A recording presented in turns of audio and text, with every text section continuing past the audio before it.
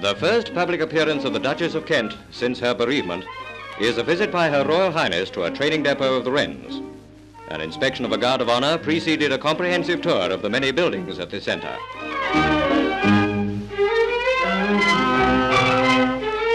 Like most depots, there's a well-filled canteen where it is possible to buy hair grips and curlers. In the clothing store, the Duchess sees a newly enrolled Wren being kitted up. Another way of saying that a woman's natural delight for new clothes is being well and truly satisfied.